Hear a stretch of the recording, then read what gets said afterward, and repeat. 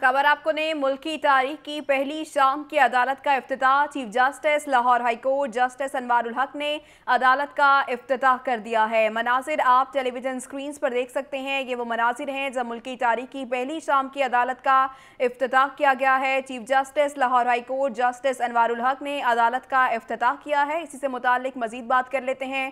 محمد اشفاق ہمارے ساتھ موجود ہیں۔ اشفاق سے رابطہ کرنے کی کوشش کریں گے۔ آپ کو بتائیں chief justice Lahore high court justice Anwar ul Haq کا تاریخی اقدام، ملکی تاریخی پہلی شام کی عدالت کی افتتاح کی تیاریاں مکمل کی گئیں اور باقاعدہ طور پر اس کا افتتاح کر دیا گیا ہے۔ Chief justice Lahore high court Anwar ul Haq نے اس کا افتتاح کیا ہے۔